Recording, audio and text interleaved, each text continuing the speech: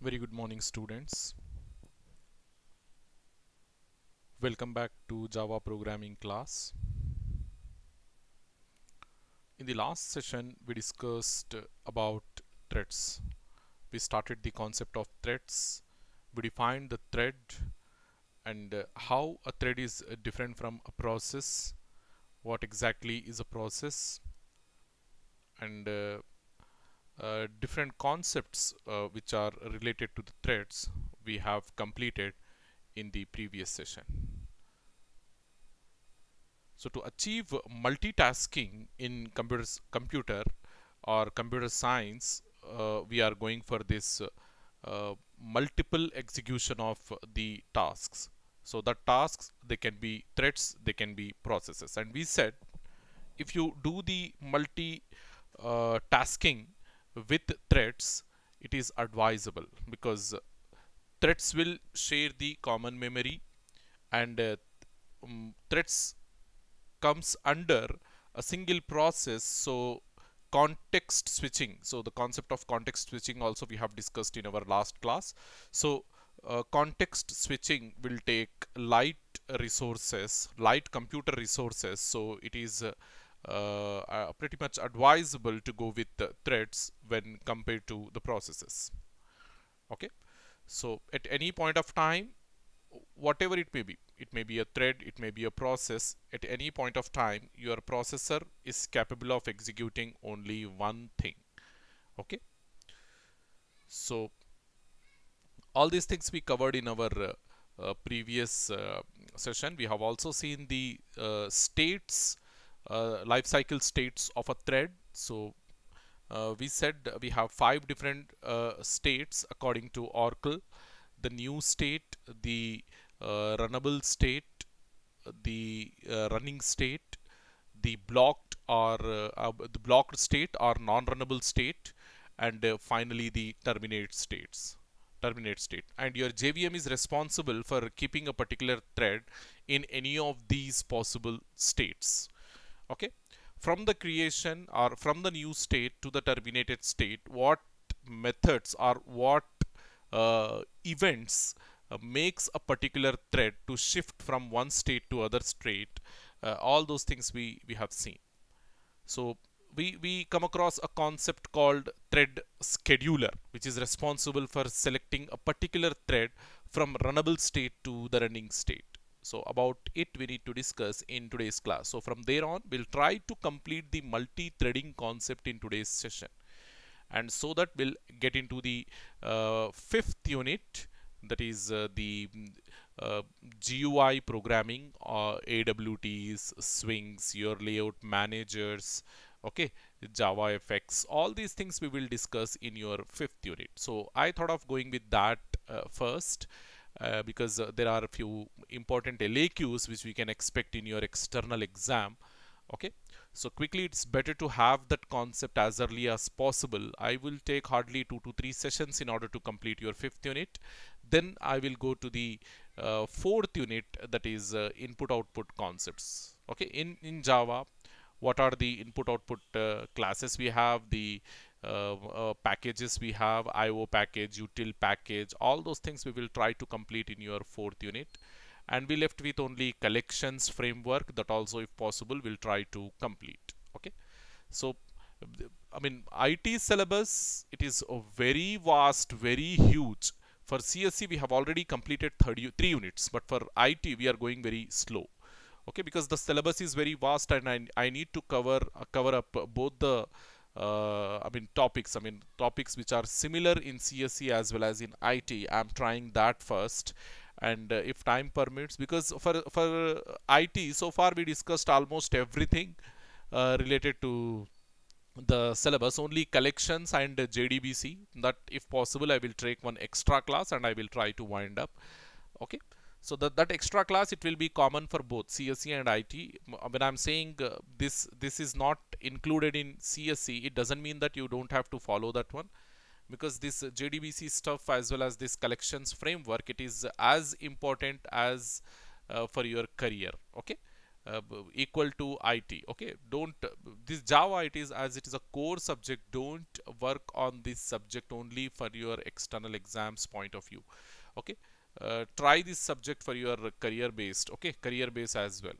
Okay, so quickly just go to that. Uh, so all these things we covered, we completed a life cycle we have discussed thread class uh, creating the thread different ways to create a thread that also we discussed then the thread scheduler okay about it we need to discuss quickly so the thread scheduler is uh, in Java is a part of your JVM. The thread scheduler don't think it as an hardware component or something. It is also a program. It is also a software program which is uh, uh, I mean which will come along with your JVM Java virtual machine uh, that decides which thread should run okay uh, in your runnable state we are having more number of threads waiting for the um, waiting for to complete their execution okay waiting for the processor time or CPU time we can say. Because in order to complete a thread in order to execute a thread we need CPU cycles we need CPU time. Okay and who will decide which thread should get the CPU uh, cycles or CPU time in the sense your thread scheduler will decide. Because at a time your thread uh, your CPU is capable of handling only a single thread. So that's the reason from the runnable state, it will select only one suitable thread for execution. Okay, and that selection, how it will do means uh, there is no guarantee that which runnable thread will be chosen to uh, to run by the thread scheduler. We don't have the guarantee. I mean, if you have if you are pointing to a particular thread and uh, you're you're you're saying that this thread will go next, I mean, there is no guarantee. We can't say like that based on what the thread scheduler will select a particular thread for execution or uh, it will make the thread to enter into running state we don't know that one a lot of uh, uh, environment variables a lot of uh, uh, situations will make your uh, thread to enter into running state. Okay? And as I said at any point of time only one thread is allowed to complete its execution in a single process a single processor system. If you have only one processor how many threads can enter into running state? Only one thread can enter into running state. Okay so the thread scheduler mainly uses there are two different algorithms. One is the preemptive and other one is the time slicing. Okay preemptive algorithm as well as the time slicing uh, scheduling algorithm. Based on these two algorithms your thread will select the uh, your, your thread scheduler will select the thread for running okay for running state so preemptive uh, and uh, time slicing very soon we will discuss over here. The difference between preemptive scheduling and time slicing. Okay what is time slicing and what is preemptive scheduling? Here we will come to know. So under preemptive scheduling because uh, all the threads will have their priorities. Very soon we will discuss about uh, uh, thread priorities as well. So just uh, for time being you remember or you try to understand that every thread will have its uh, priority. And according to the priority value uh, the threads will go into running state. Okay? So the highest priority task or the highest priority here when I'm saying task I mean thread only. Okay? The highest priority thread executes until it enters the wait or dead states or a more higher priority task comes into existence. So let us suppose uh, you have uh, three threads. I'm, I'm taking the example over here. T1, T2 and T3 to explain this uh, preemptive scheduling. So let us assume T2 is having uh, the priority value like 8 and T1 is having priority value 1 and T3 is having priority value 5 and which one is having the highest priority? T2 is having the highest priority. So all these threads they are in runnable state.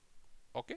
Runnable they are in runnable state all t1 t2 t3 they are in runnable state so as t2 is having the highest priority so according to the times uh, sorry uh, preemptive scheduling what will happen this t2 will enter into running state T2 will enter into running. This is my running state. Okay, running state. And what is the priority of T2? It is 8. Okay, it is under running state. Until what extent this T2 will run? In the sense, okay, till what extent they will wait. T1 and T3, they will wait in the runnable state in the sense uh, uh, until and unless T2 goes to because of some reason if T2 enters into non-runnable state we are having another uh, thing that is non-runnable state. So because of some reason T2 gets halted or T2 gets into waiting state and that waiting state is nothing but it enters into the uh, runnable state. If T2 enters into runnable state then what will happen? The next thread will be selected for execution. So the next thread is T3 because it is having the highest priority, next highest priority. So T3, that is one condition, okay, one case we can say. When T2 goes to waiting state, T3 will be selected. And uh, there is another probability, okay. Uh, and what reason may cause T2 to enter into non-runnable state in the sense, let us assume another thread T4 enters into runnable state and T4's priority is 9 T4's priority is 9. So a higher priority task, that is nothing but a higher priority thread comes into existence. So over here suddenly what happened? When T2 under, was under execution, suddenly a, a new thread T4 enters into the runnable state and it is having the highest priority than T2. So what will happen? T2 it is still not complete, uh, still not completed its execution. So even though T2 has not completed its execution, T4 will forcefully okay make this t2 to wait because t4 is having the highest priority so t2 has to enter into non-runnable state so that t4 will enter into the runnable state and starts its execution. So till what extent t2 will wait into this uh, running uh, non-runnable in the sense until and unless t4 completes its execution. Once t4 completes its execution then t2 will enter into uh, what we call runnable state and it will be selected because it is the more priority because T, T9 has uh, sorry T4 has completed. Now once again T2 is entering into the runnable state and it will be selected for execution. Okay? Likewise this is preemptive scheduling. Okay? The thread priorities are making a particular thread to enter into runnable running and non-runnable states. According to the th thread priority the thread scheduler is doing these things. And next thing is the time slicing. So time slicing is uh, very simple to understand let us say we have t1 t2 t3 and t4 four threads and don't go for the priorities now. Okay? Don't go for the priorities now. We will do this in a first come first serve basis. Okay? First come first serve. In the sense whoever enters into the uh, runnable state first they will get the time slice first. Okay? Time slice in the sense they will they will okay there will be a uh, what we call a defined a standardized time slice. So we call it as time slice. Tc is equals to 5 milliseconds let us assume. 5 milliseconds. They have given 5 milliseconds. So t1 overall time t1 overall lifetime is let us say 20 milliseconds. T2's overall lifetime is let us say t 25 milliseconds. T3's is 15 milliseconds and t4's is only 10 milliseconds. So now and they they entered into the runnable state according to this according to their serial number. Let us assume in that way. Just we are uh, doing assumptions because internal to your computer how the things will go all things will happen in fraction of seconds because it is very difficult to predict how a thread will behave in the running environment so that's the reason we we need to assume only we can do only the assumptions over here so t1 t2 t3 t4 and uh, their numbering we have done according to their uh, I mean, um, uh, uh, according to their serial number only, they are entering into the runnable state. So T1 enters first and it is 20 milliseconds. Its lifetime is 20 milliseconds. So first what will happen? Your thread scheduler, it will allocate the time slice to T1. So T1 will start its execution and it will execute up to what extent? Up to 5 milliseconds only. Even though it needs 20 milliseconds to complete, but it will not get the full time what it will get only the 5 milliseconds it will get and after 5 milliseconds what will happen the uh, the thread scheduler will make t1 to wait so at 15 milliseconds isn't it? At 15 milliseconds once again the t1 will enter into non-runnable state and from there to a runnable state okay? Then t2 will be selected because they have entered in that order only we said. So t1 15 milliseconds completed then then t2 will be selected and it will execute 5 milliseconds. So t2 at 20 milliseconds again it will be halted. Again it will be made to wait. Then t3 will be selected. So t3 on 10 milliseconds. After 5 milliseconds once again it will be halted. Then t4 t4 uh, only 5 milliseconds. 5 milliseconds it completes and it will it will be it will be, it will make to wait once again by the uh, thread scheduler.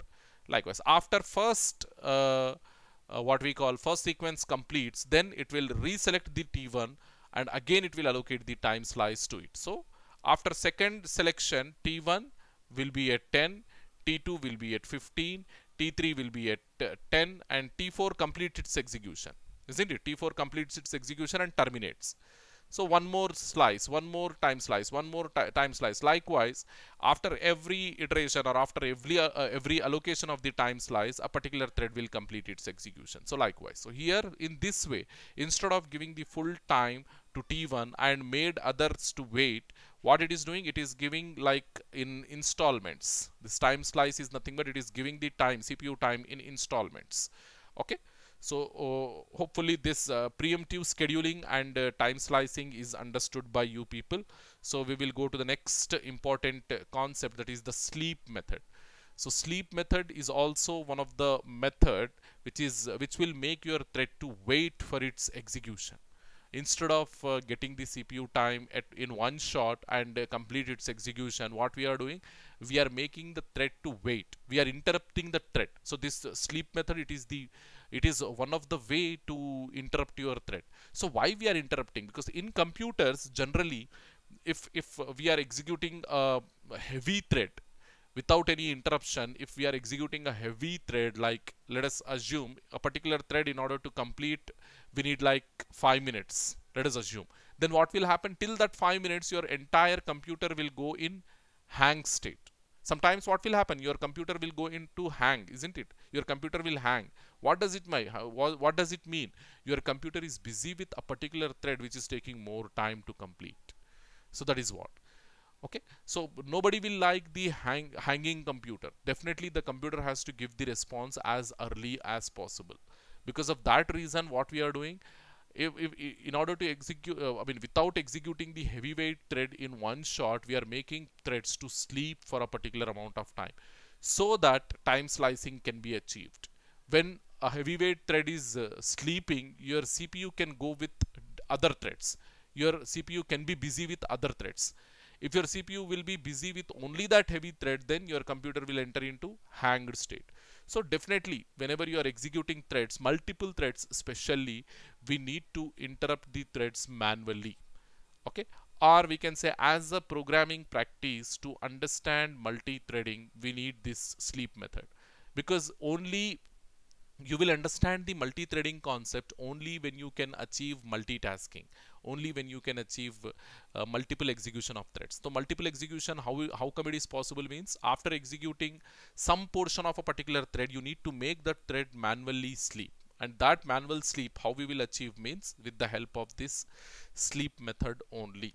So quickly read the description about this sleep method over here. The sleep method of thread class it is under thread class okay? The sleep method of thread class is used to sleep a thread for a specified amount of time. So till how long it will sleep? Till how long the thread will sleep in the sense we will give the uh, time. Okay? In milliseconds we will give the time. So up to that millisecond uh, milliseconds of time your thread will sleep. So over here you you can see we have uh, two methods i mean two different uh, uh, over uh, override uh, overloaded methods we can say. We should not say overrided overloaded methods. Okay? Methods with uh, different arguments or methods with uh, different parameters. So two overloaded methods we have and uh, they are static in nature. So no need to create in order to call this uh, sleep method no need to create the thread class object. Directly you can call this sleep method with the help of class name because it is static as you can see it is static. You can directly call that sleep method. Okay? So yes this sleep method with uh, only time it is a long value. Time in long value. Milliseconds you have to specify that is uh, a long value. So if you put 1000 over here so then what will happen? The thread will sleep for 1000 milliseconds. Okay 1000 milliseconds after when you are executing this particular statement sleep this uh, sleep method inside a thread when you do it practically you will understand. Okay? When you execute this sleep method inside a thread what will happen? That thread will enter into sleeping mode for 1000 milliseconds. So same thing long milliseconds int nanos. Okay? So here also the same thing. You if you want you can put uh, multiple arguments also to make a particular thread sleep. Okay so both the uh, threads when a thread when a particular thread is entering into sleep mode there is no guarantee that the thread will come back in that same condition or the thread will awake in that same condition. So sometimes what will happen if a particular thread is entering into sleep mode and some event occurring or some power failure occurring then what will happen? This thread will never come back isn't it this thread will never come back. So in that condition what will happen? An interrupted exception will occur. And this interrupted exception it is a checked exception. So definitely whenever you are calling this i mean wherever you are calling this sleep method safeguard that method call safeguard that method call with this interrupted exception by using the throws class as you can see over here. Throws interrupted exception. Whenever you are using the sleep method definitely you have to make that sleep method definition uh, safeguard with this throws class throws interrupted exception likewise. Okay we see practical programs there you will understand. So over here one simple program i have taken and here i will show you. I have created two two threads basically. So first of all i'm taking uh, a class and I'm making that class to behave like a thread because I'm extending this class from this uh, thread class. Thread is the predefined class. Thread is the predefined class. So I'm extending my user defined class from this thread class. So now what will happen?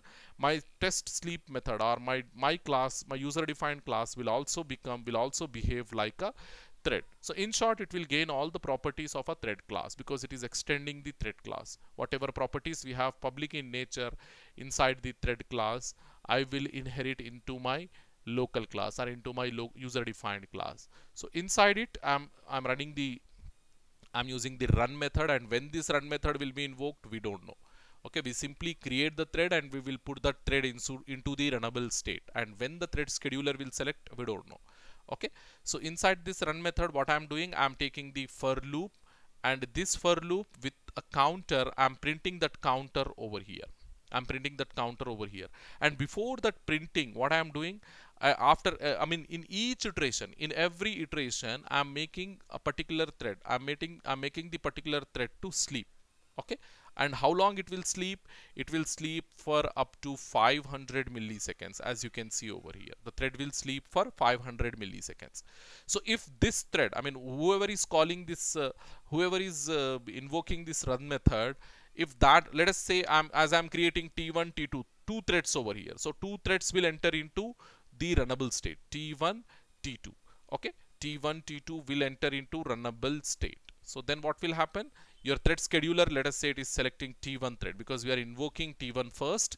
So let us say uh, your thread scheduler will select t1 first. So what will happen? If your thread scheduler is selecting t1 first then t1 will enter into running state. T1 will enter into running state. So if it is in running state what it will do? It will come over here and uh, yeah it will sleep for some time and then it will go to this after 500 milliseconds again it will wake up and enter into runnable state and then the thread scheduler select that one and then it will print this message. It will print this message system.out.println of i. I value is 1 so it is printing 1 after printing 1 again as it is a loop isn't it? As it is a for loop again it will go back and it executes this uh, thread.sleep method.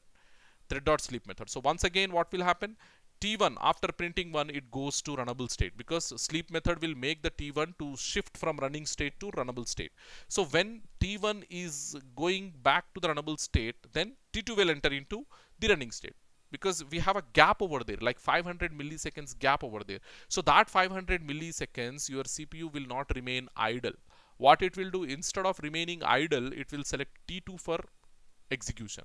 Because T2 is waiting in the runnable state and it is not having any sleep method still not having any sleep method invoked isn't it? So T2 will enter into and it will print 1 and after printing 1 T2 will also enter into the runnable state because again the sleep method will make it to sleep.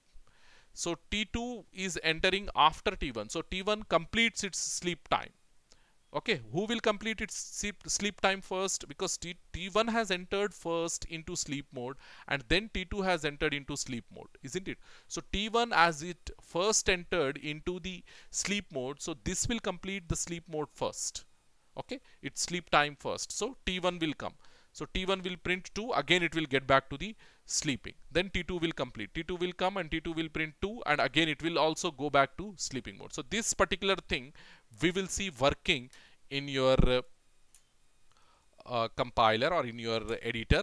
So quickly go here and take the class. As my class name is test demo I will take that only. Test demo and I want it to be a, a thread so I need to extend it from a thread. Now write the uh, run method void public void run method public void uh, run method okay? And here inside it what we have to do take the for loop. Okay? For all integer i equals to 1 i must be less than or equals to let us say some 5 up to 5 i want to print and then i plus plus. Okay? Likewise. Next in this take the try block. Take the try block. Okay? Sorry try block. And here uh, make your thread to sleep simply by executing sleep method. Sleep of uh, 500 okay sleep of 500 we will see how it will give the response. Sleep of 500 we said. Then uh, yeah when it comes back you need to handle the exception. And what sort of exception interrupted exception. Okay? Interrupted exception. Interrupted exception IE simply print that one into the catch block. Okay? Into the catch block what we are doing? Sorry? Uh, system dot out dot println system dot out dot println of print that I okay? Rarely it will enter because nowadays all we have multitasking systems so no thread will enter into interrupted exception. Just we are uh, for our sake as a practice we are writing that code over here. That's it. So this is uh, what will happen inside the test demo class. After run method you need to write the your psvm so that is public static void main of string args of. Okay? Now here you create the uh, uh, object of test demo because test demo is the thread class. Okay test demo okay td okay td1 we will create two threads td1 is equals to new test demo of. Only call the constructor. So your uh, first uh, thread is created. Create another one.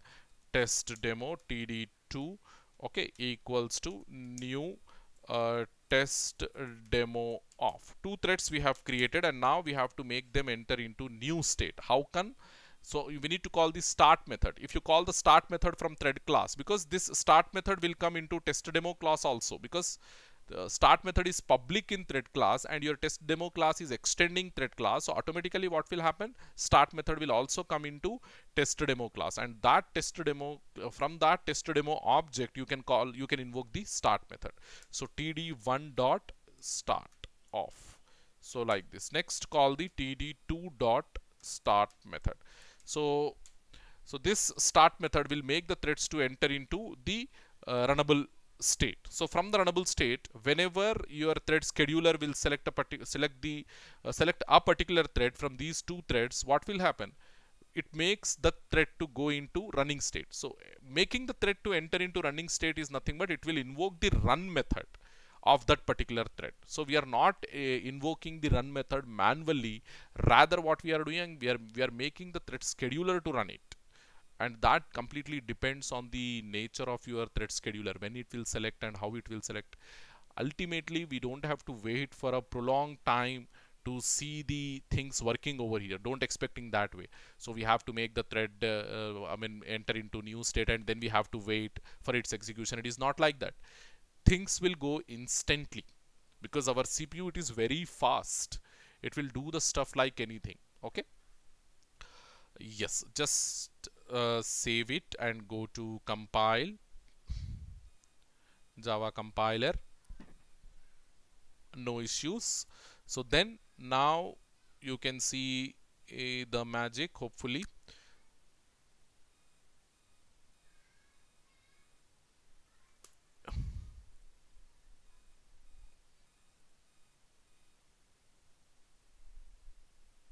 Yeah it is not printing why it is not printing? Yes we have we are not printing the tie value. That's the reason it is not printing. All the threads they are waiting. That's the that's the reason you can see the hold on the output screen. Before giving that present any key to continue it is giving some hold on the output screen. The reason all threads they are spending this much of this this amount of time over there. But we are not printing anything. We need to print that counter on the output screen so that we can see how the output will come. System dot out dot println of uh, yes now you print i value so that you can see the things working over there how the threads are sharing the time slice. Compilation successful. Now you can see the stuff working hopefully. Yes 1 1 2 2 3 3 4 4 5 5 why it, why we are getting like that means after printing after printing 1 1 both the threads are going into sleep they are they are waiting in the runnable state to complete their uh, milliseconds of time uh, inside the sleep method. So once they complete that milliseconds of time again they will come back and they will print 2 2 then they will enter back to the sleep mode. 3 3 they will print. 4 4 they will that's the reason we are not getting all the stuff in one shot. Rather we are getting delays in between slight delays in between. And that slight delay it is half i mean 500 milliseconds in the sense it is less than a second so that delay we can observe over here. So once again i am executing so that you can observe the delay over here. See compilation it is successful. Then go to the run. Okay run as you can see. 1 1 2 2 3 3 4 4 5 5 like that it is printing. Hopefully you understood. So this is multi-threading multi executing multiple threads simultaneously okay where thread neither thread 1 nor thread 2 is completing their job at once. Rather they are sharing the cpu time. Okay? So the how we are making one thread to go in interrupted state in the sense in in sleep state in the sense simply by calling that sleep method so that the thread is entering into the sleep mode. Okay? So this program already it is done. So can we start a particular thread twice more than once can we run that thread or more than one instance of that particular thread can we make to enter into the runnable state in the sense no we can't. Only one thread we uh, i mean only one instance of a particular thread we can make into a running state okay? So in short can we call the start method twice on that particular thread in the sense? No okay? We can't call that start method twice. So what will happen? The first uh, call will be successful. Whenever you are calling the start method twice as you can see over here. Uh, yeah can we start a thread twice? No. After starting a thread it will never be started again. So once the thread is already started you cannot start the thread once again. If we do so one what will happen? Illegal thread state exception. Illegal thread state exception will be thrown okay? Illegal thread state exception will be thrown. Basically we will not handle this exception and we will let your java's default uh, exception handler to handle this exception. Okay? There are a lot of exceptions we have in java but we discussed only few. Remember this one. And rest of all will make your uh, java's default uh, default uh, exception handler to handle. Okay? In such case in which case if you are invoking a thread uh, start method more than once on a particular thread then what will happen? Thread will run only once. You will get the output for the first start method but you won't get anything for the second one. So basically uh, if you are executing the start method more than once for the second time it will throw the illegal thread state exception. Okay? So we need to see this working. So what I have to do? Simply go and uh, see inside your yeah here. So same thing. Test demo I am taking and from the run method I am simply removing all these things and my intention simply to print system dot out dot println of uh, thread is running so running. So whenever the thread will come over here it indicates. Whenever the thread is coming to this run method it indicates the thread is under running state. So what will happen? It will print this running message on the output screen. So rest of the things I need to delete so only yes control Z. Only t1 I'm creating thread 1 and I'm invoking the start method on the thread 1 twice. First time what it will do it will print this message running message on the output screen. So when you are invoking for the second time what it will do? When you are invoking for the second time it will throw the illegal exception okay? So here what I will do after uh, getting that running message I will make my thread to sleep for some time so that I will see that message. Thread dot sleep off let us say some 1000 milliseconds I am making my thread to sleep. So it is um, approximately equals to one second 1000 milliseconds in the sense. So now just uh, see that save this then go to compile. Okay. Thread dot sleep must be okay. It, it, so whenever you are calling it must be caught because it is an it there is a possibility that it will throw an exception okay? So if it is throwing an exception we need to caught catch that exception. So simply as it is an unchecked exception we must have to put in uh, this one. So here what is that? Interrupted exception. Interrupted exception ie okay don't do anything. Simply we caught it. Okay don't do anything. Uh, yeah you can print the message also but I don't want it to. Okay press any key to continue. Now uh, go and run. Okay running then we got illegal thread state exception. So first time when you invoke the start method we got the uh, perfect uh, output that is running then it is throwing the exception. Remember this one okay? Why it is throwing the uh, second time why it is throwing the illegal state exception because it is not possible to invoke the run method or it is not possible to make the thread uh, to enter into the new state twice.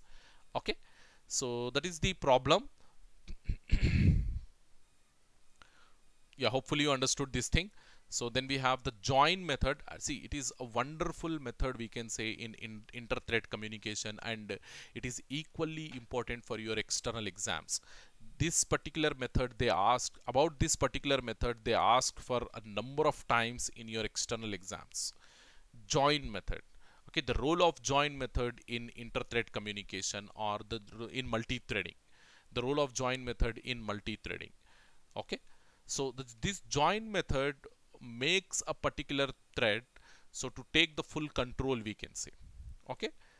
As long as uh, this thread okay whoever joins with using this join method as long as this particular thread is under execution no other thread can uh, enter into the running state or no other thread can make this thread to stop. Okay? So here you can read it causes the currently running thread to stop executing until the thread it joins will complete its task. So the, the the meaning is very simple. It takes the full control and it executes. Whoever joins uh, if, if, if, if a particular thread is joining using this join method and let us say that instance at that point of time other thread is under execution then what this particular thread will do means this will make that thread to stop and this will take the full control and this will complete its execution. And as long as this whoever joins using the join method as long as this thread is under execution no other thread is allowed to execute or no other thread is given by the CPU time. Okay? So again here public void uh, yeah we have two uh, what we call two forms of uh, two signatures to of this join method. One is normal join and one is with uh, um, time time period okay? The first thing here you can see public void join throws interrupted exception. So whenever you are calling the join method also there is a possibility of uh, uh, interruption. So if that thread goes into the interruption how come others will come to know? So by seeing this exception only others will come to know. Okay public void join long milliseconds. Here we are specifying the delay okay till how long this particular thread uh, can go for joining okay so throws interrupted exception. In both the cases, there is a possibility of interrupted exception. So we must have to handle this interrupted exception whenever a particular thread is using this join method. Okay, same case for sleep method, isn't it? So here, as you can see, I mean, whatever example we are about to see in that in that example, what we do means we make this T1 thread. Okay. Uh, when we make this T1 thread to call the join method, so T1 dot join it is also a class it, this join method it is also a part of your thread class. It is also a part of your thread class. So t1 dot join let us say if we call like this then t2 t3 has to wait. Okay? Has to wait until and unless T1 complete its execution. Okay? Uh, after completing after when the T1 completes its execution then only T2 and T3 are uh, allowed to execute. So just go and see yeah we are going here. So simply what I will do uh, yeah we have the program also here as you can see. Uh, yeah same thing I'm starting a thread okay? I'm starting uh, uh, uh, the run inside the run method same code I kept which will print from 1 to 5 okay the code will print from 1 to 5 and in between each number printing okay in between each number printing we can observe the delay of 500 milliseconds. We can observe the delay of 500 milliseconds because so as to get the uh, control I mean so as to shift the control between the threads we are using this 500 milliseconds. So in reality without this join method what should you get? Because we are using three threads now t1 t2 t3 we are getting three threads so if there is no join method so what will happen first t1 will enter then it will print 1 and it will go to sleep for 500 milliseconds then when the T1 is sleeping for 500 milliseconds, T2 will enter and it will print 1 and then T2 will also go to sleep. Okay, then T3 will enter. When T1, T2 both are sleeping, T3 will enter and it will also print 1 and it will also go to sleep mode. So because T1 enters the sleep mode first, so it will awake first. It will come out of that sleep method first. It will make itself awake first. So T1 will come and when it is coming back, its job is to print 2 okay? Then after printing 2 once again it will invoke the sleep method. So it will go to the sleep. Then t2 will come. 2 2 3 3 3 4 4 4 this is without the join method this is without the join method so now what we are doing we are making the t1 to join t1 to join in the sense t1 will make other threads to wait until and unless it will complete its execution. After completing T1's execution only T2 and T3 can start. Okay, only after T1 complete its execution T2 and T3 can start. So this is the advantage of join method. So now what will happen? First T1 will complete its execution. So you are getting 1, 2, 3, 4, 5. This is the job of T1 okay then uh, once t1 complete its execution then t2 will enter okay t2 will print this one then t2 will go to sleep because t1 is not joined t2 is not joined so t2 will go to sleep then t3 will enter t3 will print this then uh, once again t1 already completed so no need to consider t1 again. So then t2 will enter. T2 will print this t2 t3 will print, print this. T2 will print this t3 will print this. Likewise you will get all the output on the output screen. So quickly go and modify that same program. So here inside the run method only we have to do all the tactics. So inside run method what we are doing? The first thing i'm calling i mean i'm using the for loop. For all integer i equals to 1 i must be less than or equals to 5 i plus plus. So inside this for loop what i'm doing i'm taking the try block okay try catch and inside try uh, i'm making my thread to sleep. Thread dot sleep of some 500 milliseconds. Then inside the catch block catch the interrupted exception. Interrupt exception IE. Okay, here you if you want you can print system dot out dot println of IE print that object. Okay, that's it. So this is uh, the uh, run run method inside the thread. Then here test demo of TD, TD1. So create uh, two more objects TD2, TD3. Okay, TD2 uh, and TD3 so here what should I do?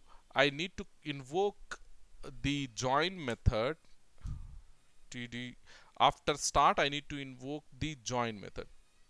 Td to start and td3 dot start off. So now once t1 started take another try. Okay take another try. And in this try make td1 dot join like this td1 dot join so as uh, td so first I will show you without this join and after that I will modify and I will put this join so that you can see. So here what is the possibility of exception? What type of exception? Same thing. Interrupted exception you can uh, get. Interrupted exception you can get IE. That IE you can handle here. Okay. System dot out dot println of IE okay save it. Now just go and see what output. So first I will remove this. Okay try catch I'm removing. So simply I'm calling all this in one shot t1 t2 t3 so you will get 111 222 as we discussed here. 111 222 333 like that you will get. 444 like that you will get. So just see uh, compile okay here I have done some mistake it seems here I forgot to close it.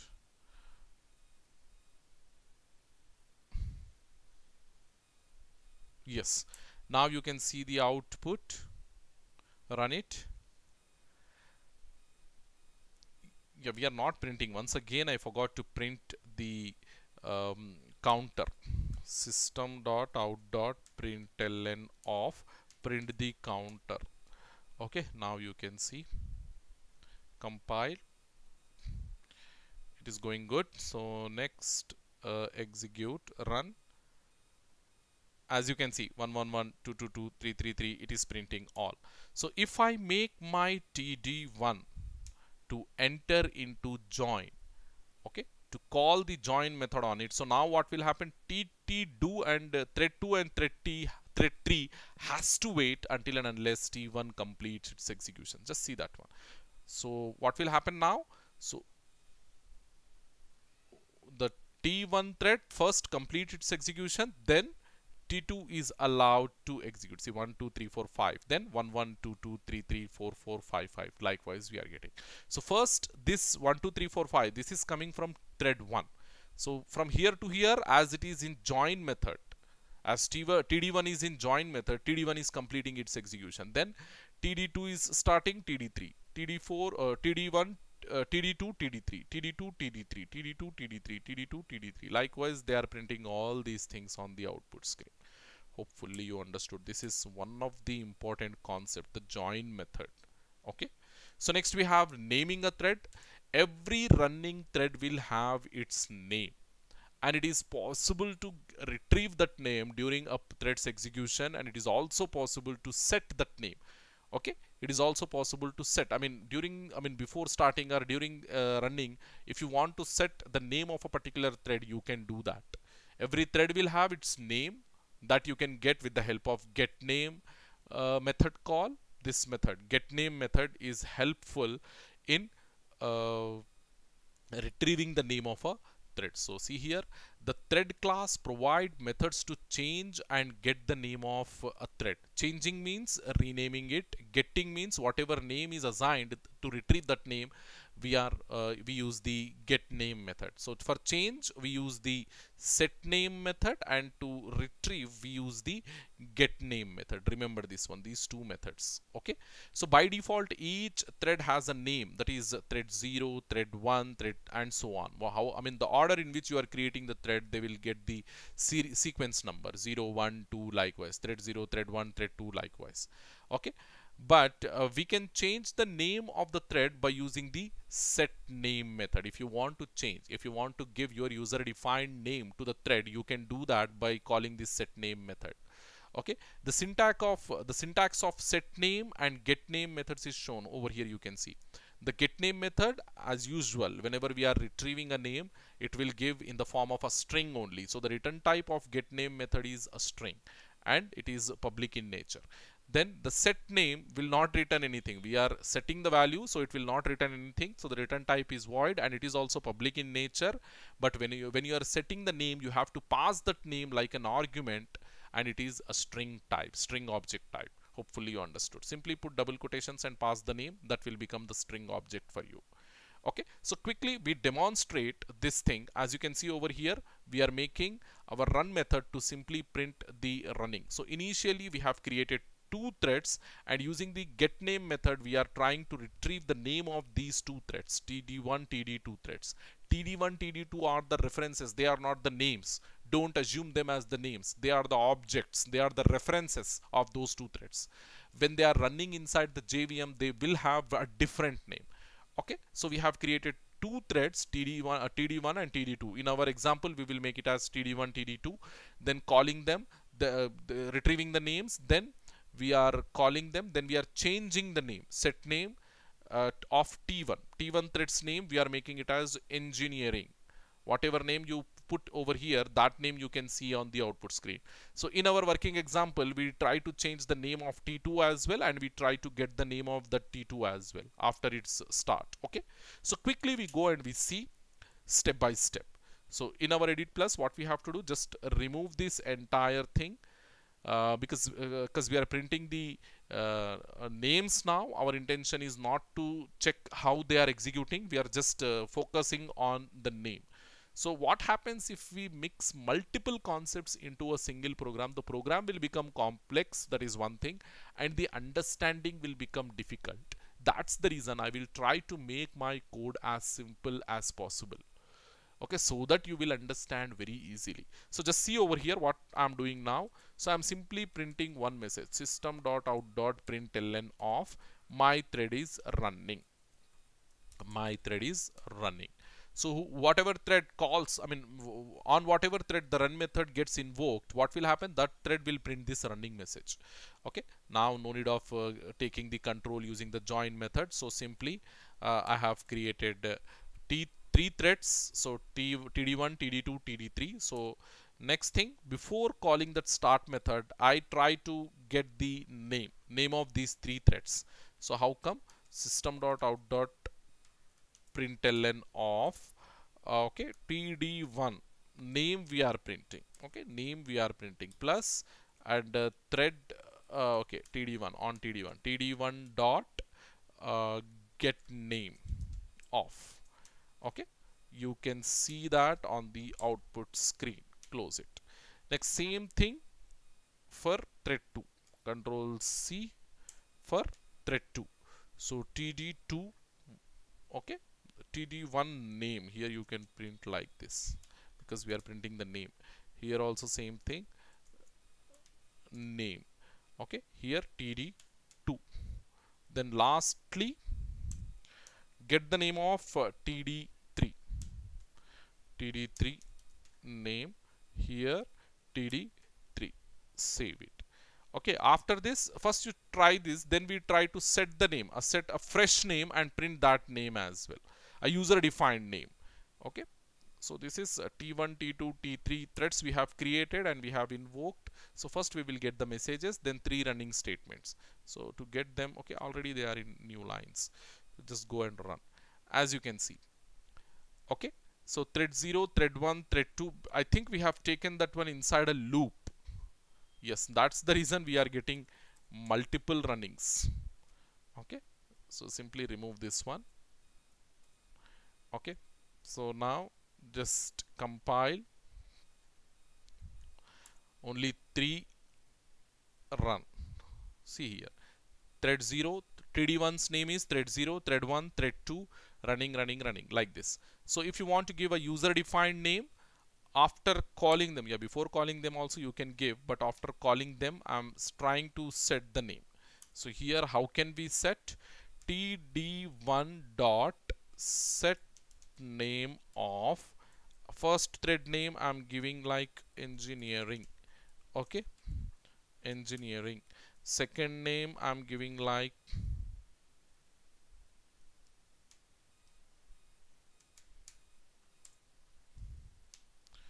okay. Engineering. Second I'm giving like arts. Okay. Third name I'm giving like design. Okay. Arts and design. Different domain names I have given over here to my threads. So this is uh, this must be td2 and this must be td3 okay. After that once again try to print their names. After setting the names once again try to print their names. Okay td1 td2 td3 once again. After setting we are again printing the names. Hopefully you understood this one. Just go compile. Successfully compiled. Now execute. Run and see their names. First thread 0 thread 1 thread 2 these names was given by the jvm then we have changed the names td1 dot uh, td1 name that is engineering we have said then we got the running method running message then td2 name arts running running td3 name design. Why we got this changing over here means because threads how they will execute nobody can give the guarantee which thread will go for uh, for execution first which thread will go for um, I mean uh, how, which thread will be halted during the uh, execution that we cannot give guarantee. That's the reason this jumbling of statement printing is quite obvious whenever we are doing the programs using threads. Hopefully you understood. So okay. So the next thing uh, let's just go and see next thing what we have. The current thread okay we can even get the reference of the currently uh, executing thread with the help of uh, this uh, current thread method. Okay sorry current thread uh, method. It is a method under your uh, thread class only and it will return the object of a thread class okay because uh, whatever we are going to pass i mean whatever we are going to receive when you are invoking this uh, current thread method you will receive the object to the current uh, object to the thread class only. So that's the reason the return type of this current thread method as you can see over here it is uh, the thread class object. The return type of this current thread is the thread class object and it is a static method in nature so no need to use the uh, object reference over here directly with the help of uh, thread class you can invoke this uh, uh current thread method and the uh, access specifier is public so it is open to the world. Okay simply remember the current thread method will return the object to the uh, currently executing thread. So over here as you can see yes we are trying to print the name of I mean see here in order to invoke the get name method we need the object reference isn't it? Because it is under thread class and it is not static we need the object reference in order to execute this get name method. That we are doing inside the run. Okay? So this thread dot current thread. What is this current thread? Current thread is a method which, which returns the object reference. And that object reference in order to invoke this current thread do we need object reference? No we don't need because it is the static method. So directly with the help of class name we are invoking the current thread method. So this entire thing from here to here what is the return type of this entire thing? It is a thread class object. So here you will get a thread class object only. Object we will get. Thread class object. Using the thread class object you can invoke the get name method. Okay? Thread class object of what thread class object we currently executing thread class object we will currently executing thread object we will get over here. Let us say if you are invoking t1 dot start then t1 you will get over here. So when you are invoking t1 dot get name you will get thread 0 because t1's name by default it is thread 0 so when you are invoking t2 dot start that t2 dot start will come over here because retrieving the current class reference over here. Thread dot current thread is nothing but retrieving the current currently executing threads reference over here. So that will come over here. So t2 dot get name will give the thread 0 to you. So sorry thread 1 to you. So quickly i will show you this execution so that we proceed so take only two threads and no need of this entire thing. So simply remove from here to here. This is also not required. Simply remove this. Now go here. Instead of this entire yeah here we need this thing. But instead just we print the names isn't it? So that how we are doing? First we are taking thread dot current thread method we are invoking. So this reference on get name method. So simple as simple as it is. Okay? The, the only thing we need to understand the concept nothing is there. Okay? So now just save it. Now go and uh, compile. As you can see compilation successful. Now go run the output you can see. First the t1 got executed. So t1's name is thread 0 and t2 got executed. T2's name is uh, thread 1 likewise. Hopefully you understood this one.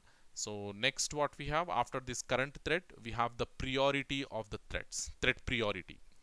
So as you know whatever threads we have under execution every thread we will have its own priority. Priority is nothing but the order in which the threads will gets executed. Okay? If you have multiple threads what thread has to get the CPU time first? Or what thread the CPU scheduler what thread the thread scheduler should select first for execution. It completely depends on the um, priority value of that particular thread. So every thread every thread when it gets created it will have some priority allocated to it some priority assigned to it. Okay? Priorities in java they will be represented by numerical value or numbers. Okay? And that priorities are from 1 to 10 we are going to have from 1 to 10 so all the threads currently under execution they will have their own priorities and th those priority values are in between 1 to 10 only. Okay? In most cases okay in most cases we are saying the thread scheduler will schedule uh, the threads according to the priority values only. Okay? And that uh, selecting of threads based on the priority values is nothing but we said preemptive scheduling already we discussed time slicing and preemptive scheduling we had the discussion on that one. So selecting the threads based on their priority values is nothing but preemptive scheduling. Okay and most of the cases your thread scheduler will follow the preemptive scheduling so there is a need to learn these priorities of thread in detail. Okay that is what we are doing now.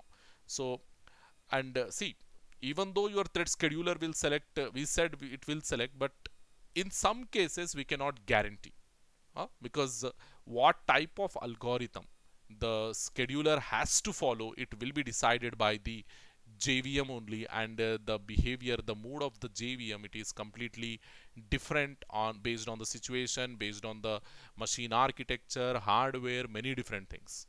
Okay so there is no guarantee that always the JVM will make your thread scheduler to select the threads based on preemptive scheduling only.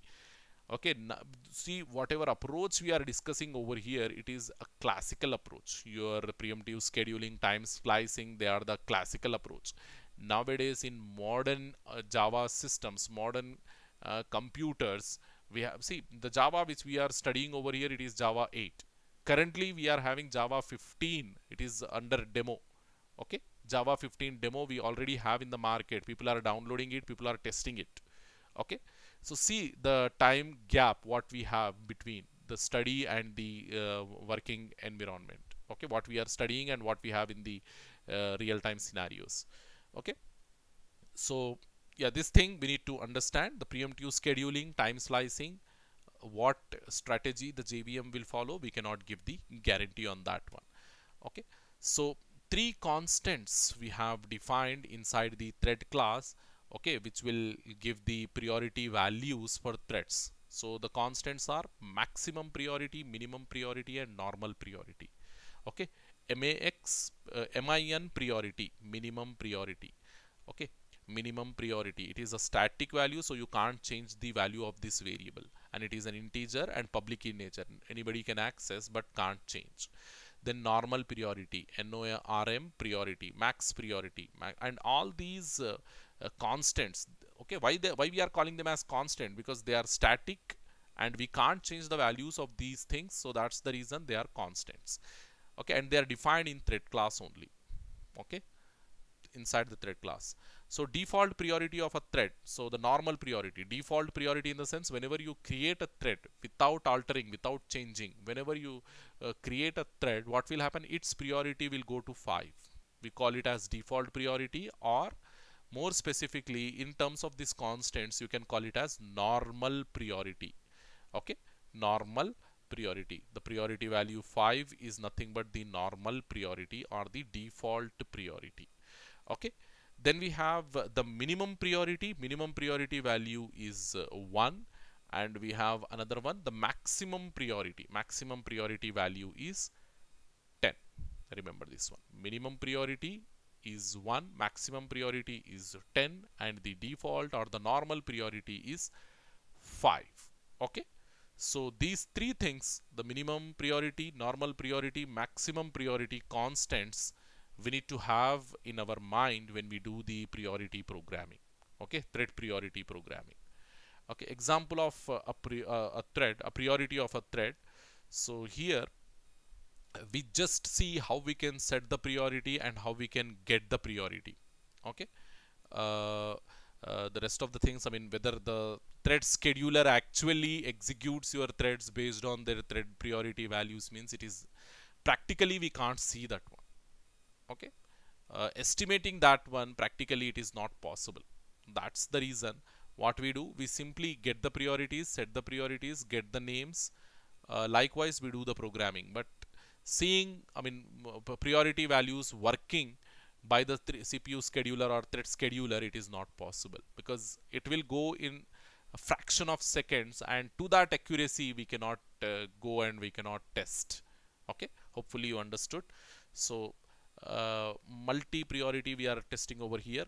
So simply um, whatever thread goes under execution or whatever uh, uh, thread on which the run method gets invoked uh, what we are doing what we are trying to print the uh, get name and uh, get priority. We are retrieving the priority and we are retrieving the name.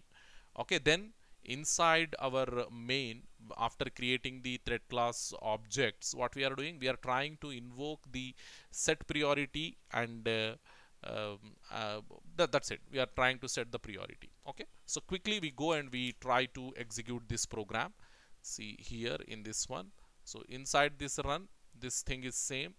Uh, we, we need to get the name. And after getting the name we also need to get the priority. So this this st same statement I will print once again.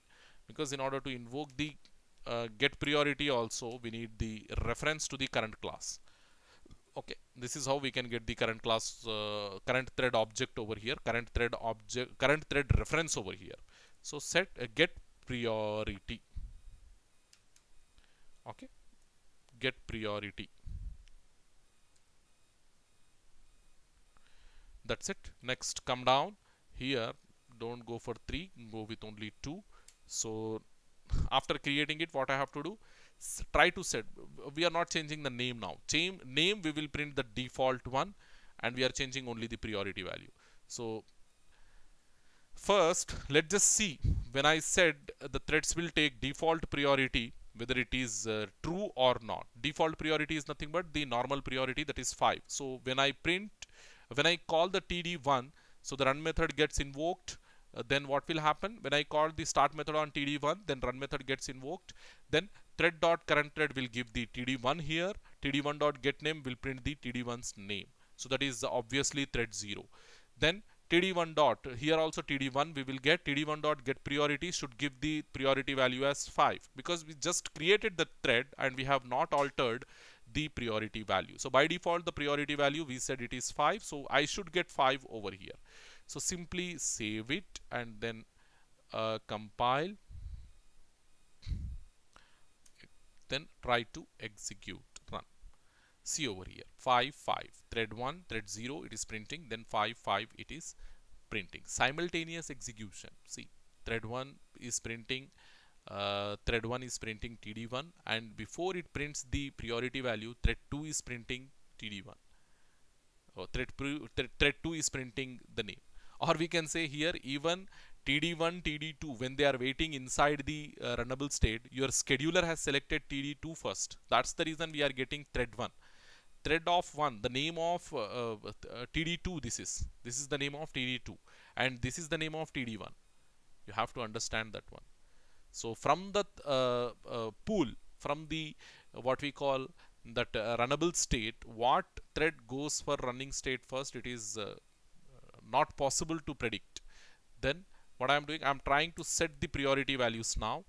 Then td1 dot set priority of this set priority method what it is taking it is taking the priority value so that priority value, numerical value you can give between 0 to, uh, sorry, 1 to 10 or you can take the uh, constant value from the uh, thread class. Okay, that is thread dot minimum priority, all caps, minimum underscore priority.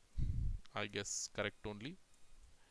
P R I O R I T Y minimum underscore priority. We will see if any issues come. We will see.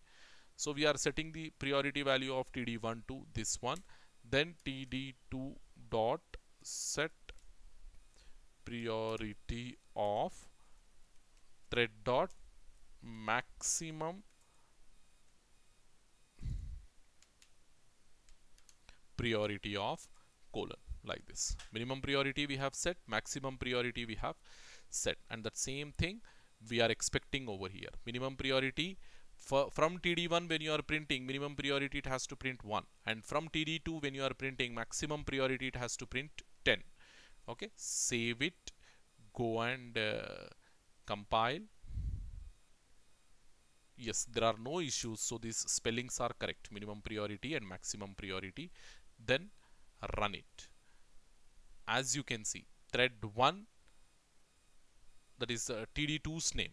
Thread 1 then we got the priority as uh, 10 okay?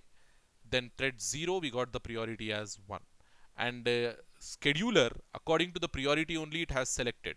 The thread 1 is having the highest priority uh, sorry thread 2 td2 thread 1 name is of td2 thread 0 name is of td1 so when when we are seeing this thread 1 on the output screen so td2 is having the highest priority because we allocated the maximum priority to it. So it got selected first and it is printing that one. We, what we do is we interchange the maximum and minimum priorities. We interchange and we see how the output will come. Max and maximum priority now I'm assigning to TD1 and minimum priority now I'm assigning to TD2 so just see what will happen does it go accordingly or any changes? Okay underscore it went off from here so put the underscore.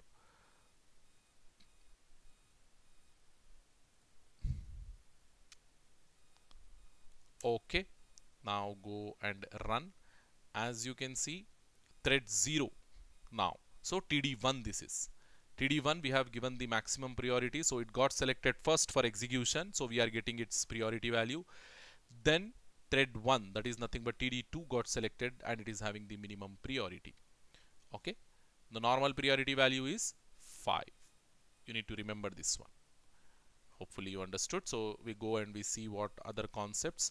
Then the concept of daemon threads this is also one of the important concept in Java.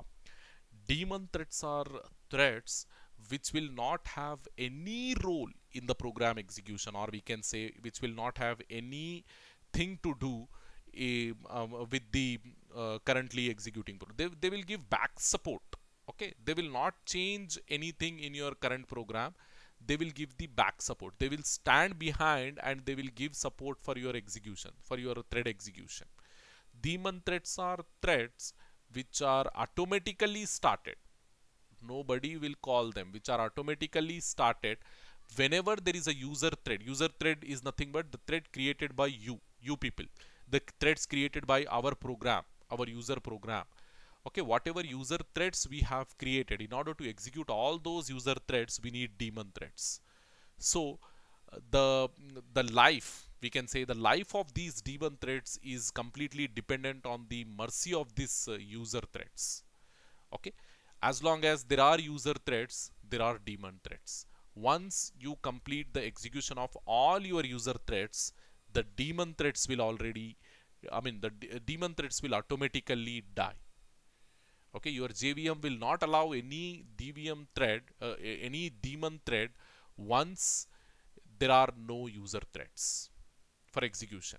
As long as there are user threads for execution there are running daemon threads as well inside the JVM. Once all the user threads have completed their execution, there is no point of maintaining these daemon threads running. So what the JVM will do? JVM will simply kill these daemon threads. Okay. So the same concept you study over here. Daemon thread in Java is a service provider thread. Okay. That provides services to the user threads. So daemon threads we are not creating. User threads we are creating. Daemon threads like standardized threads they are readily available inside the JVM.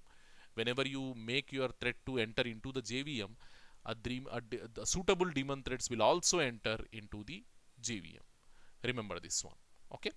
So its life, its life in the sense whose life? Daemon thread's life depends on the mercy of the user thread. Already I noted this one. That is when all the user thread dies JVM terminates this this means daemon. These threads automatically. Okay?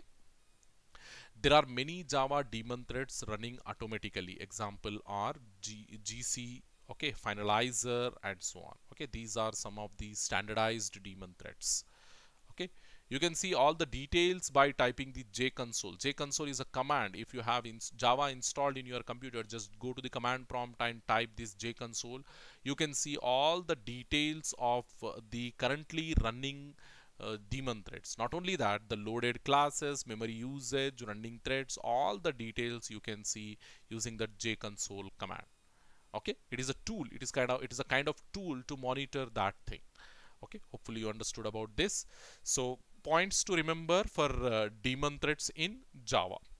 So as I mean the same points whatever we discussed in our previous previous slide just I have highlighted few over here.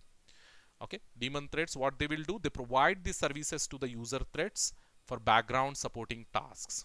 They will not come in front. They will not do any change in your program. They will not do anything to your program. They will not alter anything inside your program they will simply stand behind and they will give the support. Okay? Uh, it has no role in life uh, than to serve the user threads their sole purpose is to provide the services. They are the service provider threads they don't do anything other than that one. Okay? Its life depends on user threads they are completely dependent on the mercy of user threads okay?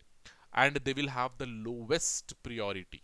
Okay? If uh, because in order to being a thread daemon threads being threads in order to stand inside your JVM they, JVM they too need the CPU time. They too need the uh, CPU cycles for execution. But when it comes to providing the CPU cycles to the daemon threads they have the lowest priority though.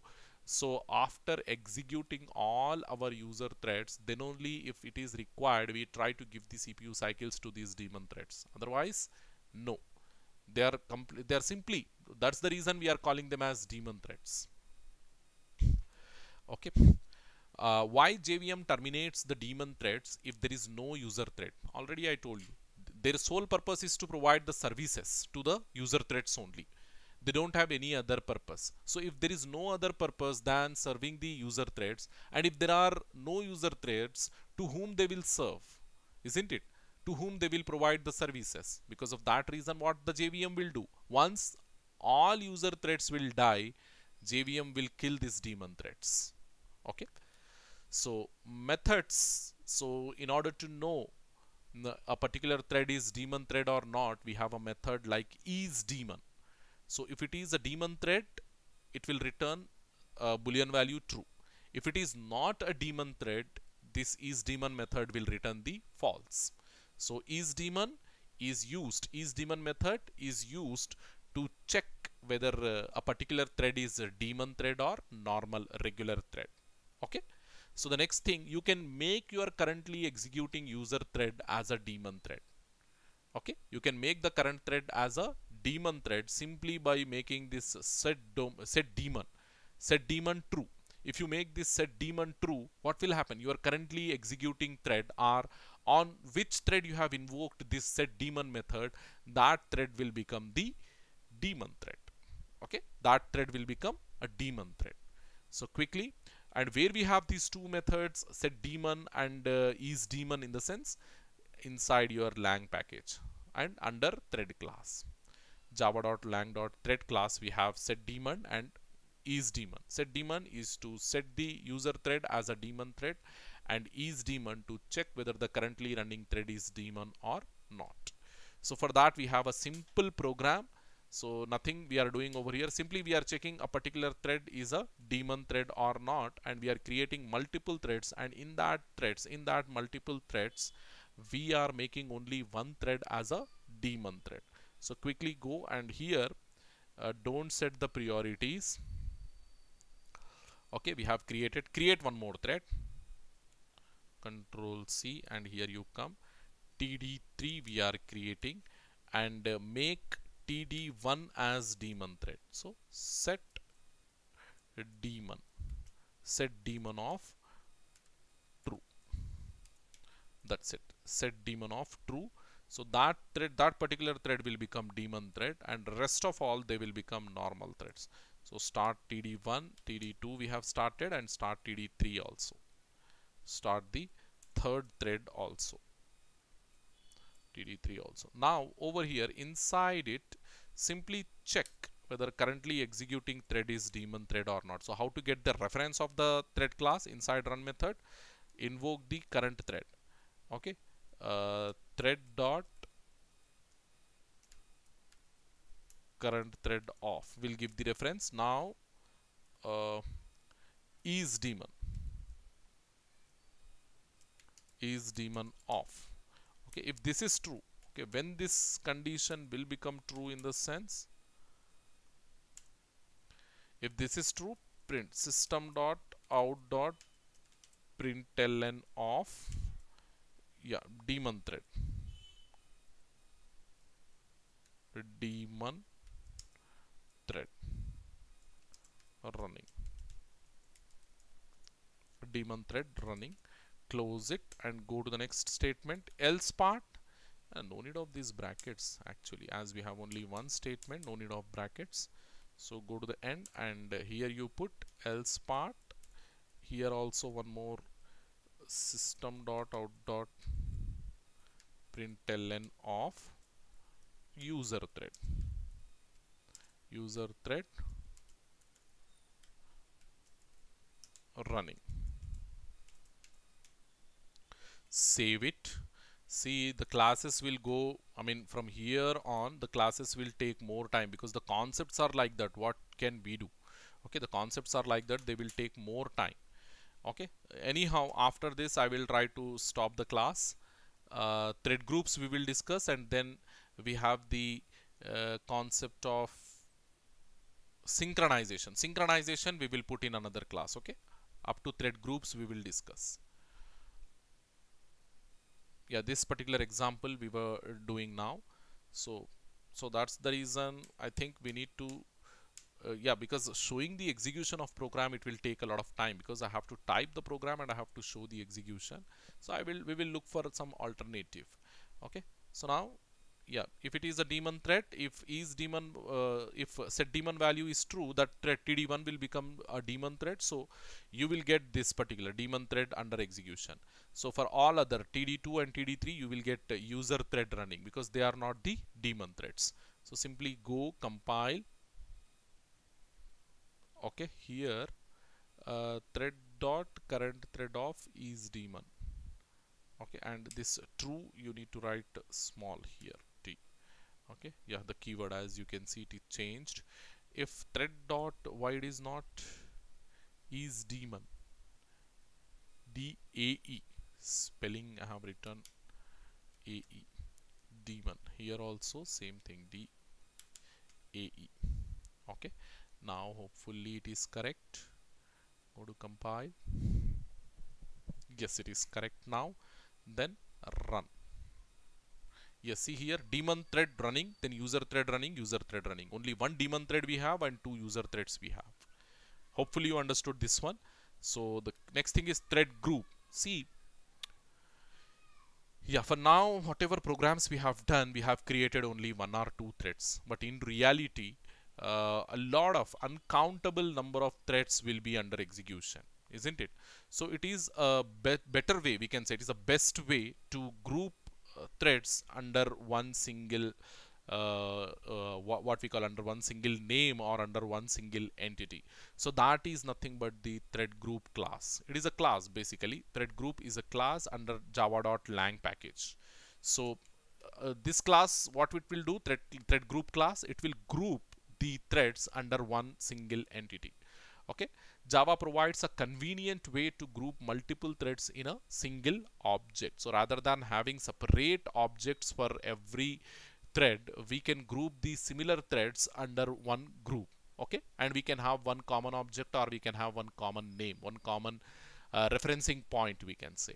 So why we can do, why we have to do in that way being so that we can apply the features on one single shot okay? Instead of calling t1 star t2 star t3 start likewise if you have 100 threads then what we are doing? We are calling all the threads 100 times. We are making to start all those threads 100 times. So instead if you have a group kind of thing simply you can put that group dot start. Then what will happen? All the threads with whatever under that uh, thread group will start isn't it?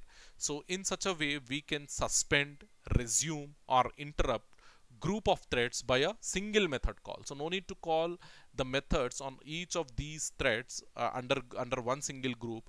You can call that method on the group so that the method call will be applied to all those threads. Java thread group is implemented by java.lang.thread group class. Okay? We have a class thread group class under java.lang package. Okay? A thread group represents a set of threads. So whenever we are saying a thread group you have to consider it as a collection. It as a, um, a bundle. More number of threads we are going to have into it. Okay? A thread group can also include the other thread groups. Not only the normal regular threads a thread group can also have the sub thread groups. Okay?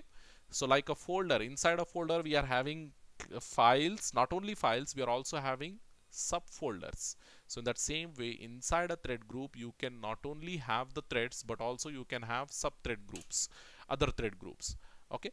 Uh, it is something like a tree. As we are having hierarchy of uh, folders hierarchy of folders in our file system in that same way we can have the tree okay? Tree structure of all these threads okay? Under thread group we are having some three threads and after three threads we are having another sub sub thread group and under that sub, sub thread group we are having four more threads likewise. See here to show that one let us say this is your thread group and under under this thread group we are having t1 t2 t3 and then we are having one more sub thread group and inside this sub thread group we are having t1 t2 t3 likewise one more subthread group one more subthread group likewise. It is giving like a tree structure from root to branch branch to leaf likewise it is giving tree structure remember this one. Okay? Uh, yes. Uh, yes one thread belonging to a particular thread group can have the information access on that thread group only. So here uh, to make it understand let us say here t1 another thread group here we have t2 t2 will have the full control on this particular thread group only. It can have it, it is having no control on this particular thread group. If it is tg1 thread group 1 and if it is tg2 t2 will have the full control on only tg1 it will have nothing to do with this tg1 okay? T2 will have nothing to do with this tg1 but whereas t1 it is having the full control tg1 no control tg2 that is the meaning of this particular statement. Okay? So here this uh, thread group class it is having uh, different uh, constructors. Okay? Thread group followed by the string it will give the uh, name to that thread group. Okay uh, thread group. We also have the thread group parent class object you can pass and along with the name. Under what thread group? If, if you are creating this thread group constructor call is helpful in order to create a sub thread group i can say. This to create a parent thread group. If you're no, nowhere if you are concerning about the um, uh, parent of this uh, uh, thread group then go with this thread group. But if you are concerned about the parent then go with this second. Okay? Hopefully understood uh, then methods of thread group class we have different methods under this uh, thread group class like check access active count active active count is nothing but how many number of active threads we have under that thread group. To retrieve that one we use this active count method. The method name along with the description I have given over here if you read that method and if you read the description you will understand the purpose of that method okay? No need to read simply read and waste the time over here rather than you can read the method name and you can uh, get the description also. By reading the description you will understand the purpose of using that method. Already we have understood so much under this uh, threads and I don't think if you, you feel any difficulty in understanding these things.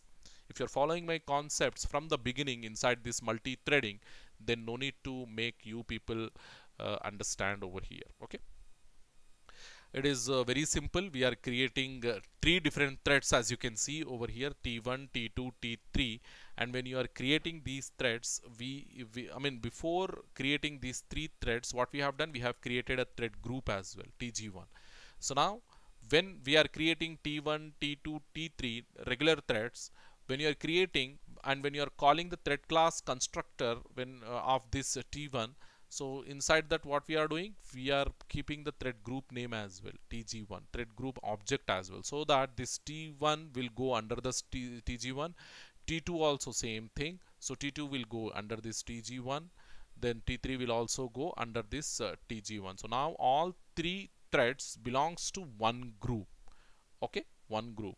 So here tg1 is the reference to the thread group class okay? Hopefully you understood okay so this is uh, get thread group dot interrupt. Okay? Now we can interrupt all the threads whatever threads running under this uh, thread group tg1 if you want to interrupt.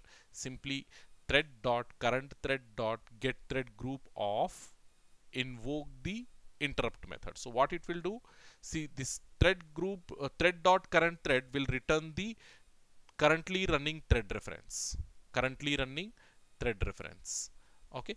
Thread reference currently running thread reference dot get thread group what it will return? It will return the thread group reference of currently running. Thread group reference of currently running. Currently running thread. Thread group reference. Thread group reference dot interrupt. What it will do? It will interrupt whatever threads we have under this thread group under this thread group whatever references we have whatever threads we have all those threads will get interrupted when you invoke this interrupt method on this thread group. Okay? We have a simple program also on this. Uh, okay? Yeah this it is very easy to understand.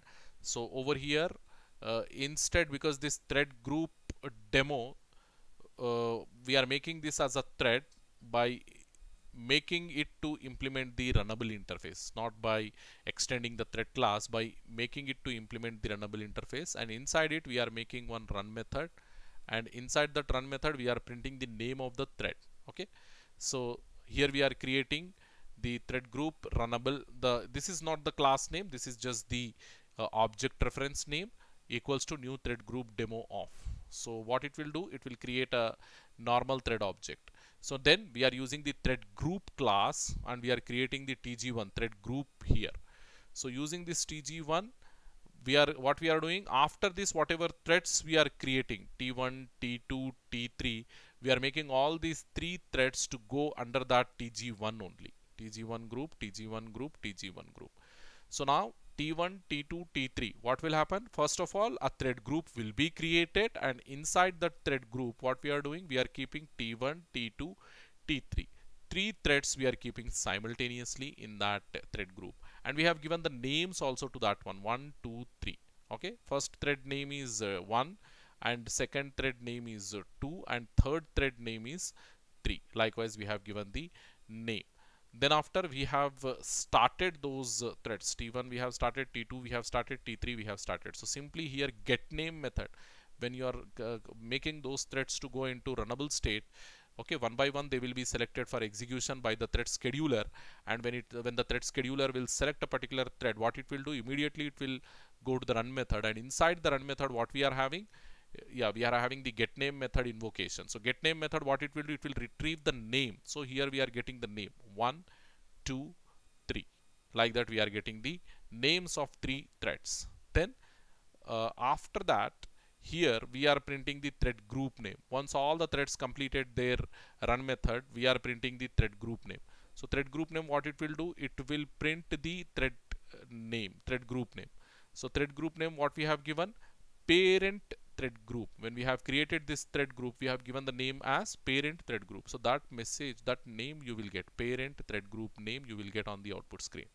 After that yes uh, we are uh, yeah here listing in the sense list method. So just go and see what this list method will do yeah here we don't have. Yeah there is a list method. This I have selected only the important methods over here. These 10 methods I have selected only the important method. The list method is used to list all the thread information. Okay all the threads information inside the available thread group. So inside this uh, thread group we have three threads. The complete information is like this. So first thread uh, 1 is name 5 is the priority and under what thread group it is there? Under parent thread group it is there. Then the second thread 2 is the name 5 is the priority because we have not modified the priority. We have not played with the priority over here. So that's why the normal priority they got and default priority they got that is 5 and the thread group name is parent thread group. And lastly the thread name is uh, 3 and uh, 5 is the priority value and name is same parent thread group. So this way you will get the output. You want me to show the execution of this one? Let's just do it quickly.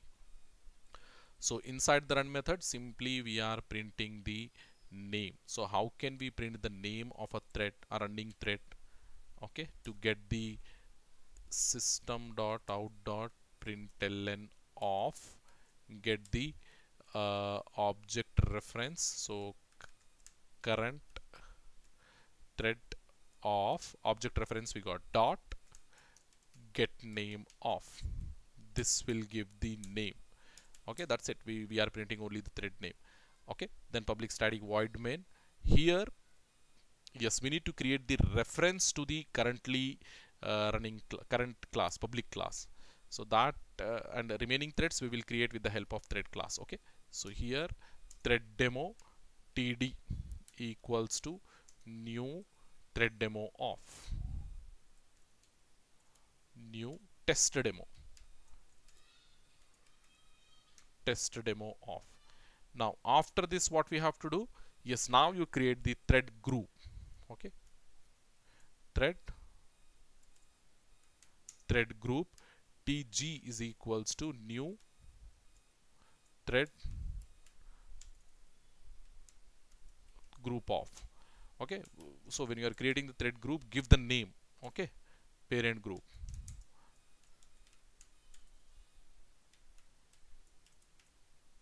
Parent group. Okay? Tg equals to parent group. Now when you are creating the threads okay? So thread t1 equals to new thread of thread of yes pass the group under which you want this thread to be. Tg is the group name and td is the our class name. Then put the name for that one 1 okay? So same way you can create the other threads t1 create another thread that is t2 new tg t okay here you give the name like 2 put another one. T3 new thread. 3 okay. These things you remove. Okay. And here invoke the threads one by one. Immediately after their creation you can invoke or here t1 dot uh, start off. Then this you remove.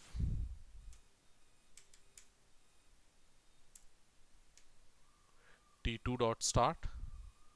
And lastly t3 dot start also you put. T3 dot start. Save it. Now go to compile. Compilation successful.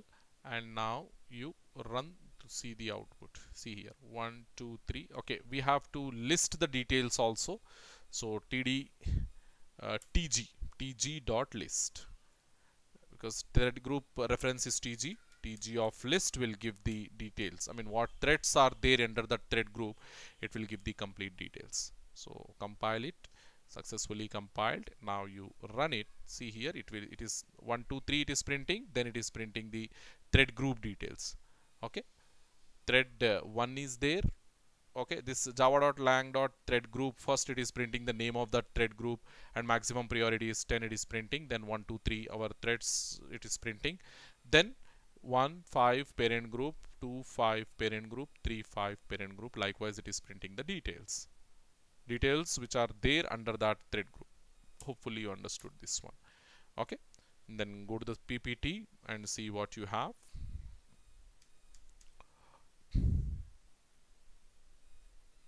this one. Yes that uh, then we have the synchronization. It is also one of the important concept to discuss. And uh, after this we have uh, synchronization. Synchronization was the, uh, only the main part here. Then thread synchronization uh, synchronization method synchronization block static synchronization then inter-thread communication. This this particular thing inter-thread communication it is an LAQ in multi-threading concept okay about it also we will discuss very soon hopefully in our next class we'll try to wind up this i thought of uh, winding up this stuff here only but program execution for us it is taking a lot of time actually I need to type the program and then I need to show the execution of that program. We are getting issues and then I need to resolve those issues. Once again, I need to come back and I need to execute. So this stuff it is taking a lot of time. We will plan something from the next class onwards. I will try to put the program on the slide. Execution we will see afterwards. Okay, or else you can try the execution at home because whatever programs I will keep, some minor changes only I will do.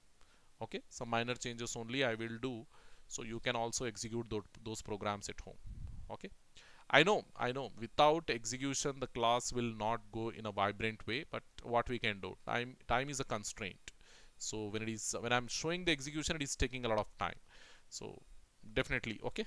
We'll we'll look for the alternate. Or else I will do in the in this way. I will show the execution of only one or two programs because as you can see in today's class I have executed around 10 to 15 programs and all those programs are quite interrelated. We have done only the minor changes in those programs isn't it? So I will show you the execution of only one or two programs and remainings you have to do at your home okay? Thank you very much students